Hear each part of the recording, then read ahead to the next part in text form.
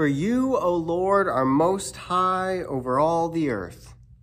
You are exalted far above all gods. Welcome. We are having a uh, devotion this week. Uh, we are nearing the end of Advent and, of course, uh, barreling towards Christmas. Um, but I think it's worth this week, especially, to take a little time out to, uh, to praise God and take a little time for reflection. Um, Christmas Eve service will be here at 5.30 on Friday. Uh, I will also be posting something online, so uh, don't worry if you cannot make it. We'll post it online and uh, try to get a live stream if I can get it all working. Um, but for today, like I said, we'll just take some time out, reflect on Advent, reflect on First Thessalonians, and um, maybe prepare the way for Christmas uh, this year. Would you pray with me? Almighty God, to you all hearts are open, and all desires known, and from you no secrets are hidden. Cleanse the thoughts of our hearts by the inspiration of your Holy Spirit, that we may perfectly love you and worthily magnify your holy name. Through Christ our risen Lord, we pray.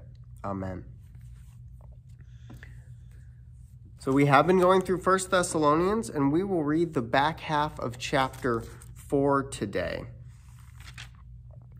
if, if you'll recall, if you've been following along, um, First Thessalonians is a very joyful book. Paul does a lot of commending, a lot of wishing to see uh, the Thessalonians. Uh, if there is a crux, a problem, a question he is trying to answer other than just commending them, it's this section. This is chapter 4, verses 13 through 18. But we do not want you to be uninformed, brothers and sisters, about those who have died, so that you may not grieve as others do who have no hope. For since we believe that Jesus died and rose again, even so through Jesus, God will bring with him those who have died. For this we declare to you by the word of the Lord, that we who are alive, who are left until the coming of the Lord, will by no means precede those who have died. For the Lord himself, with a cry of command, with the archangel's call, and with the sound of God's trumpet, will descend from heaven, and the dead in Christ will rise first. Then we who are alive, who are left, will be caught up in the clouds together with them to meet the Lord in the air, and so we will be with the Lord forever. Therefore, encourage one another with these words.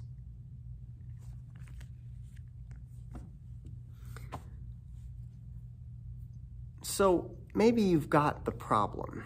It seems uh, that the Thessalonians were worried because some of the people in their church had died. Now, of course, we could understand that being uh, responding in sadness and grief to someone dying, but why would they be worried? And I, I think the simple answer is that at the, this time, uh, when Paul is writing this letter, the expectation was Christ will come back very soon. This will all be finished up, wrapped up pretty quickly, and we'll all get to live in glory with the Lord. I still believe that Christ will come very soon, but we've got to uh, deal with the fact that, that very soon for God is not the same as very soon for us. We still have to be prepared, be ready for the day of the Lord. But we, we know now that it might take a few generations. For the Thessalonians, they didn't. They were expecting all to be raised up pretty soon, any day now. But Paul's message uh, is all about hope. He says, for those of you who have hope. And, and so, to be honest with you, I thought of First Thessalonians as I was looking to, forward to Advent because it is a season of hope. We, we carry so many troubles with us throughout our lives, throughout the year. And, and if the church can be anything, it should be a place of hope that, that God ultimately is working for good in the world. And so in Advent, we expect Christmas. We await uh, the, the holiday we celebrate. But more than that, we also await Christ's return.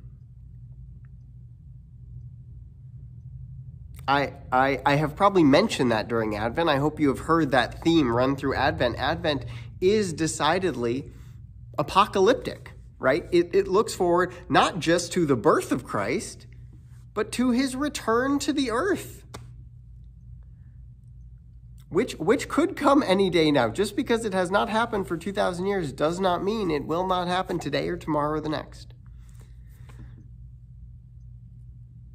But Paul's message to the Thessalonians is one of hope. As much as they grieve for those people who've gone before, God is not bound by death, right? If, if the resurrection of Christ, which is the center of our lives in Him, uh, if we are to believe it, it means that God is not bound by death, that someone could have died and we will see them again, just as the disciples saw Jesus again. And so, just as God is not bound by death, God is not bound by time. A lot of time has passed since the days when this was written. But on that last day, maybe I'll see some of those Thessalonians and say, see, it was okay. In this Advent season, we do anticipate the end times.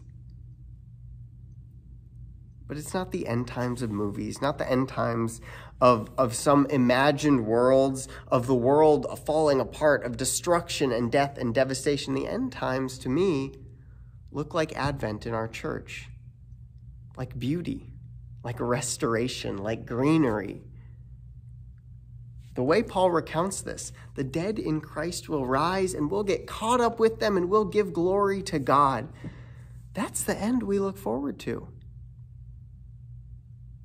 And so I really believe that Christmas in our world is, is a hope, an anticipation of what I see as Christ's return. Not, not, not a cataclysmic event but an event of renewal, of restoration, of comfort and hope.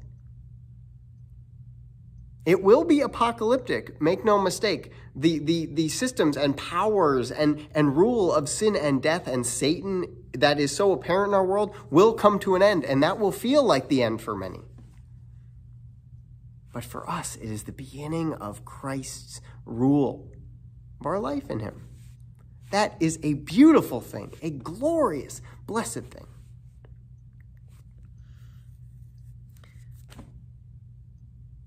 You don't get very far in this life without asking questions of God. Why did this happen? Why did this person leave the earth before I hoped they would? Why are things still this way?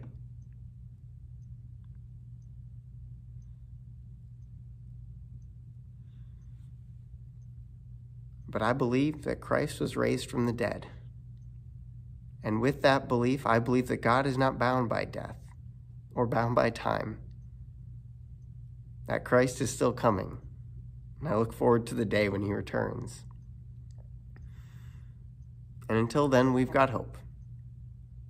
We've got one another, and we've got the church by which we, we help each other believe in that resurrection and believe in that last day. And so I can't tell you to put away your troubles this Christmas. Can't tell you to ignore them or that everything will be okay tomorrow. But someday they will be. God isn't bound by death or by time. Thanks be to God for that. So I want to sing a Christmas song.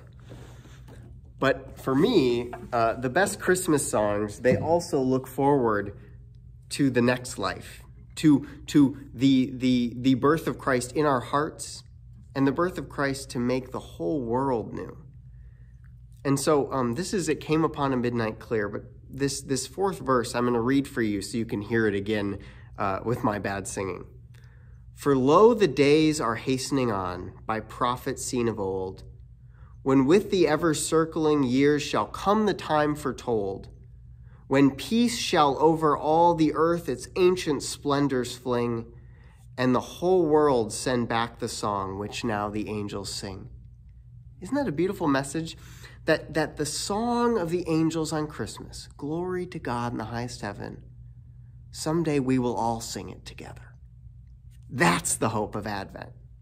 Praise God.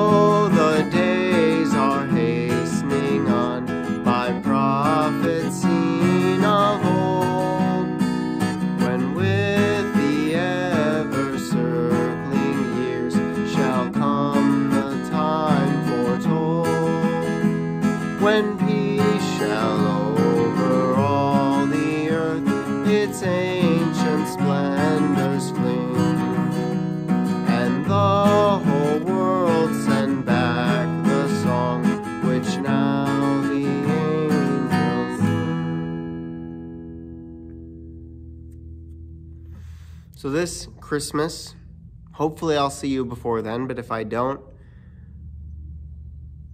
send back the song which the angels sing. Proclaim Christ to this world this Christmas. Go in peace. Amen.